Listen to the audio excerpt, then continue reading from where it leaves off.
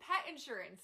No, no, it's Furkin Pet Insurance. No, why are you bleeping me out? It's just F U R Kin Pet Insurance. That's the name.